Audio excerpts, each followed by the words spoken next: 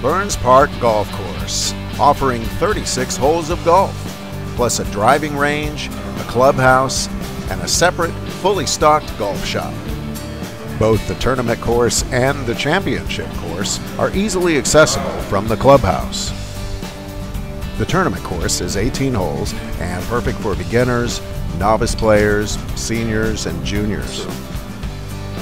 The playing time is a little bit faster on the tournament course, but that doesn't mean it's not challenging with its nine lakes surrounding its hilly paths and doglegs. Across Championship Drive is the Championship Course, 18 holes featuring narrow tree lined fairways and enough hilly terrain to challenge even seasoned golfers.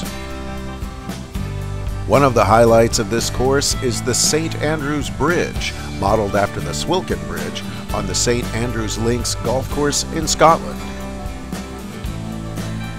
And the championship course plays host to the Arkansas Open Golf Tournament each year. If you don't have time for 18 holes, or you just want to practice your swing, stop in at the driving range, right outside the clubhouse.